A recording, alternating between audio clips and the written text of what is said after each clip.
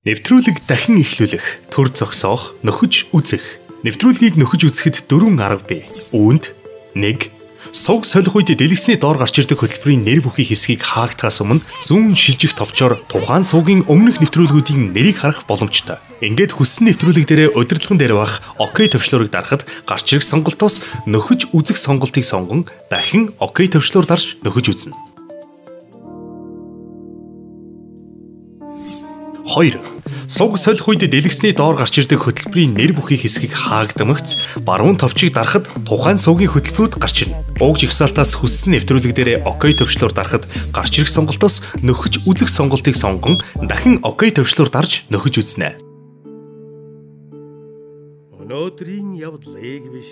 Өн нэртний үлгэр өгүүлнэ. 3 Сувг солих үед дэлгэсний доор гарч ирдэг хөтөлбөрийн нэр бүхий хэсгийг хаагдмагц ОК төвчлөөр дарахад дэлгэцийн зүүн доод болонд дээш доош сум бүхий тэмдэглэгээ гарна. Үүний дараа дээш шилжих товчийг дарахад тухайн сувгийн хөтөлбөрүүд гарч ирнэ.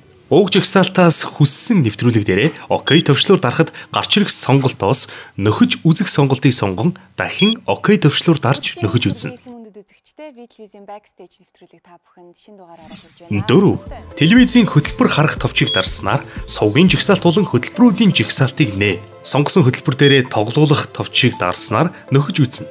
Зөвхөн нөхөж үзэх боломжтой сувгуудын нэвтрүүлгийг дахин эхлүүлэх нөхөж үзэх боломжтой.